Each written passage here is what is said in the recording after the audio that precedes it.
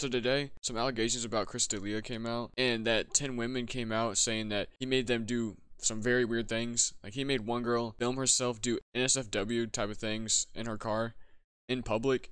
And I was thinking, how did he make her do that stuff? Like, I don't get how you could just force someone to do it even though he wasn't there. Like he wasn't in the car or anything like that. And somehow he made her do these things. But she said that he would leak her nudes. And that's what kind of made her do the things. She, you know, of course, you don't want your news leaked. But the FBI is looking into this. So Chris could be in actual, like, serious trouble. So this time it isn't just being canceled anymore. But they are just allegations at the end of the day. And there really isn't much evidence to them. But honestly, it wouldn't really be that shocking if it was true. Because this isn't like the first time things like this has came out about him. There's a good video explaining everything. It's called The Chris D'Elia Problem by Kyle Anderson. And I'll play some clips here from the video. It's just some of the girls that came forward talking about the situation, just to give some context to everything. A lot of the girls had his name tattooed on them. And I didn't quite understand why until they started talking more about their arrangement with Chris. And apparently, he would get girls into this arrangement where they weren't allowed to say no to him. How he would accomplish that was with some form of blackmail, whether that be emotional blackmail, like, I'm going to kill myself if you don't do XYZ, or, you know, I'm gonna release your nudes if you don't do XYZ. Like he would get very angry if you didn't call him daddy. Even at one point, he said to myself and another girl um, on separate occasions, uh, referring to my dad, he said, He's not your daddy, I am. Some girl with braids, and he circled the exact spot on my neck where it was to go. He wanted to truly own or feel like he owned his girls.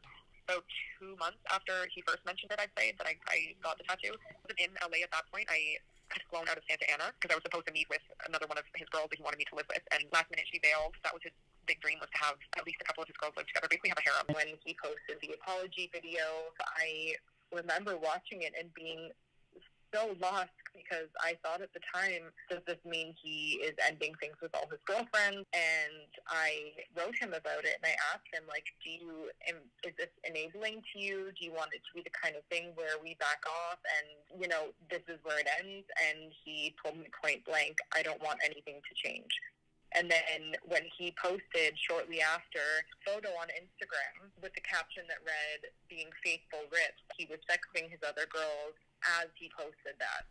So there really isn't much evidence, but if there's that many girls coming forward, it kind of seems a little sketchy to me. And he kind of did say that he did these things and they are maybe true in his apology. Like he kind of hinted at them. Like this dude definitely has an addiction, but a lot of people just give him the benefit of the doubt, saying like he's trying to live the rock star type of lifestyle.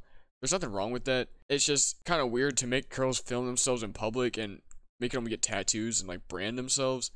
That's just kind of far to me and kind of crazy. Like I have nothing wrong with doing whatever you want to do, have fun, but to like that type of point, it's just I feel like too far, honestly. But the whole point of him like asking girls to tattoo, I think it is because he wants to start that whole like cult he's been talking about. But he had some merch that had like cult in it, so like he talks about this all the time. It's like not really trying to hide it or anything like that. But yeah, the whole cult thing is a different subject because I can't tell if it's a bit or not, but at the same time, no one really thinks it's that funny. I don't really know who laughs at the jokes, so I don't get why he would keep on saying it if it wasn't true, you know? But honestly, with the whole tattoos and him controlling girls, I could kind of see how it seems true, and it seems like he's being serious. And the dude literally talks about it all the time. I'm looking to uh, create a one. Okay. You know what I mean? Yeah. I'm just trying to get a cult man for real. Um, Because I'm not in the podcast business. Yeah, you are. I have a cult, and it's a cult, and and, Chris, and I am and I am can't and we are to that. and That we are- picture looks like a cult It leader. does, doesn't it, dude? I admit I pissed on 14 year olds brown. That's it. Credits. I admit I had a sex cult. Brown. That's it. By the way, I don't think that's that bad. I'm trying to get one. Now, every time uh, I go out and I do another city, there are more and more babies there. And this is the time to push it further than ever to get these people part of the cult. If you can get like that, that's ultimate enlightenment. And that's why this is a fucking cult. I don't do a podcast, I have a cult. That's what it is. I want true believers of the hedonistic lifestyle. and I want people who are going to help spread the word and build this cult. You're a cult leader. Shit. I'm a cult leader. You're babies. Right? Yeah, exactly. This is how we test the cult. They know if fuck daddy's coming to town, you go to the shows, bro. And I told them this is a cult, and they all cheered. But I don't think it's a bit, but who knows? It really could be. But back to the 10 girls that came forward, I couldn't really find anything else on the other 9 girls. So who knows if they're telling the truth, but I guess we'll see. So it seems like it's getting pretty serious if the FBI is going to be involved. But let me know what y'all think about the situation. Hit the subscribe button, hit the like button, and that's really about it. See ya.